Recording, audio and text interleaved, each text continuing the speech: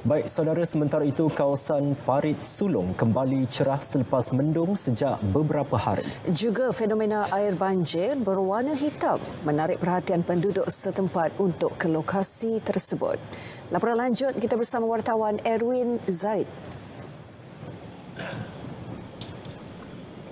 Baiklah, terima kasih Andy dan Hazel. Uh, saya kini berada di Jalan Bukit Ciku di Parit Yani Batu Pahat bagi membawakan perkembangan banjir terkini di kawasan ini.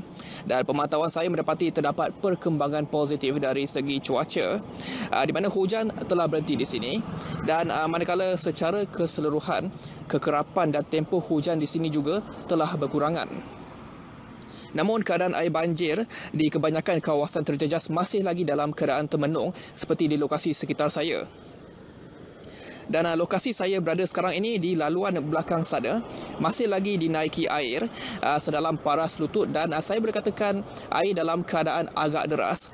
Uh, kerana kami sendiri baru saja merentasi laluan tersebut dan air deras datang dari sungai terusan di sebelah laluan. Namun laluan tersebut kini masih dibuka kepada semua jenis kenderaan secara satu arah dalam satu-satu masa.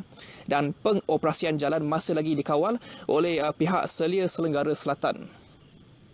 Dan laluan ini merupakan laluan terdekat bagi penduduk di Parit Yani untuk uh, ke Lebuh Raya Utara Selatan. Dan pada petang tadi kami cuba untuk melakukan tinjauan di kampung Parit Warijo namun tidak uh, tercapai kerana laluan ke Parit Warijo dari kampung baru Seri Medan terputus kerana tenggelam sehingga ke paras dada. Dan ia memaksa kami berpatah balik kerana risiko yang tinggi. Sekaligus membatalkan tinjauan kami kerana kami difahamkan keadaan banjir di Parit Warijo agak teruk.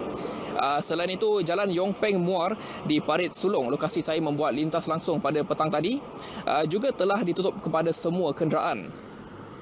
Dan sebentar tadi kami mendapat maklumat Angkatan Pertahanan Awam APM uh, membawa keluar 23 penduduk terjejas dari kawasan Kampung Parit Basri dan ditempatkan di 3 PPS kerana um, paras air di kampung mereka di, meningkat.